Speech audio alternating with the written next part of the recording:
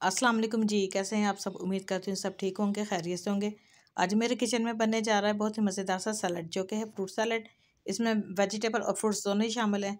ये एक healthy dish है, इसे आप बनाकर अपने मेहमानों को पेश कर सकते हैं डिज़र्ट के तौर पर इसके लिए मुझे सबसे पहले चाहिए टाट्रा पैक क्रीम लेंगे हम, एक चौथाई कप।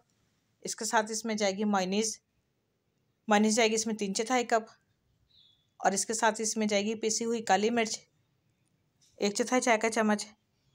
सफ़ेद मिर्च, आधा चाय का चम्मच, नमक जाएगा इसमें आधा चाय का चम्मच, पिसी हुई चीनी इसमें जाएगी दो खाने के चम्मच। इन सबको अच्छे से मिक्स करेंगे। ये हमारी मज़ेदार सी ड्रेसिंग तैयार है। अब साथ ही इसमें जाएँगे उबले हुए आलू, क्यूब्स में कटे हुए एक कप और साथ ही जाएगी इसमें गाजर और मटर उबली हुई। एक कप पाइन जाएँगे इसमें आधा कप, क्यूब्स में कटे हुए, इसमें जाएँगे हरे रंग के अंगूर आधा कप, काले रंग के अंगूर आधा कप और इसके साथ इसमें जाएगी किशमिश, दो खाने के चम्मच, केले, दो दर्द स्लाइस में कटे हुए। और सेब लेंगे हम आधा कप, जो कि हमने रेड कलर का रेड कलर का लिया है छिलके के साथ। हमने इसे काटा है ताकि हमारे डिश में प्यारा सा कलर आए।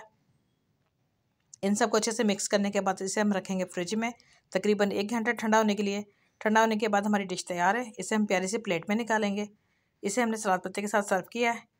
ये मज़ेदार सी डिश आप बनाकर मेहमानों फैमिली को दें। ये देखने में जितनी मज़ेदार है, खाने में उससे ज़्यादा मज़ेदार है। इसे एक बार आप ट्राई करके देखें। आपको ये रेसिपी कैसी लगी? अगर आपको मेरी वीडियो अच्छी लगी तो इसे लाइक करें, मेरे चैनल को सब्सक्राइब करें। इसी तरह की मज़े मज़े की वीडियो देखने के लिए मेरे साथ जुड़े रहें। मिलते हैं आपसे अगली वीडियो में। उस वक्त तक के लिए अल्लाह हाफिज़।